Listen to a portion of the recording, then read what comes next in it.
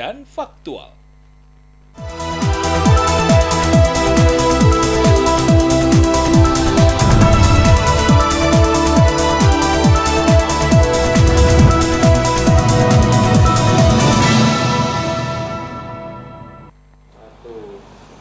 Anda kembali bersama dengan kami pemirsa menuju ke informasi berikutnya. Pemirsa video curhatan seorang bocah perempuan yang rindu kepada ayahnya yang dipenjara menjadi viral di media sosial. Sang putri rindu kepada ayahnya yang dipenjara gara-gara dugaan kasus penipuan dan penggelapan mobil mewah Ferrari seharga 12 miliar rupiah. Karena kasus ini, sang anak sempat mengadu ke Komnas HAM untuk menuntut keadilan. Selain itu, dirinya mengaku sering dibully teman-temannya di sekolah.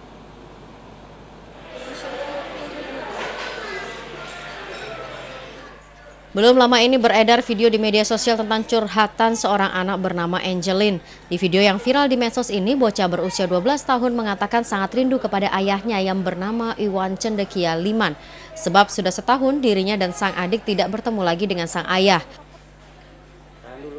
Video berdurasi 60 detik ini kontan membuat netizen ikut renyuh dan prihatin. Angelin mengaku bersedih tak bertemu ayahnya karena dipenjara terkait tuduhan penipuan dan penggelapan mobil mewah senilai 12 miliar rupiah. Akibat kasus ini, Angelin mengatakan sering dibully teman-temannya di sekolah.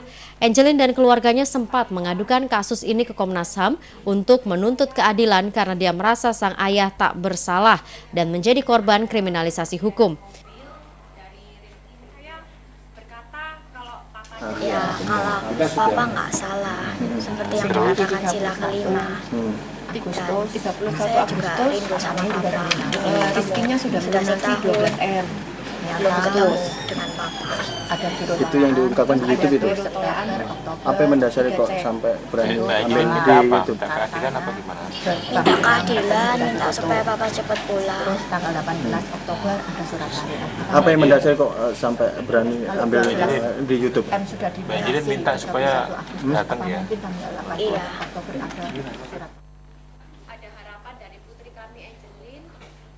Sementara itu, istri Iwan Liman, Xiao Ing, mengatakan terkait kasus yang menimpa sang suami, awalnya dirinya mengaku menutup-nutupi kasus ini di hadapan anak-anaknya yang terus menanyakan keberadaan ayahnya.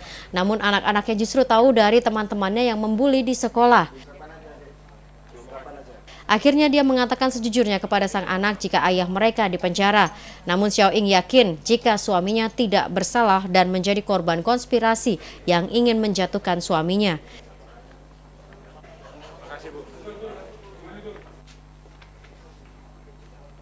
um, untuk kasus ini karena memang Pak Iwan itu tidak bersalah, saya hanya ingin um, orang yang orang-orang pemerintahan memberikan keadilan yang seadil-adilnya.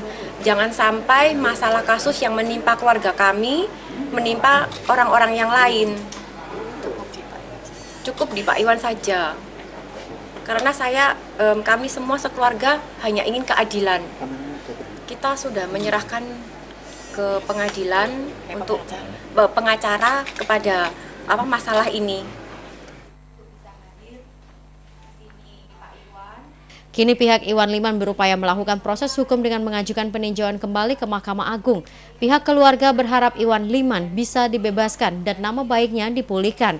Dan yang terpenting bisa berkumpul dengan anak-anak dan keluarganya.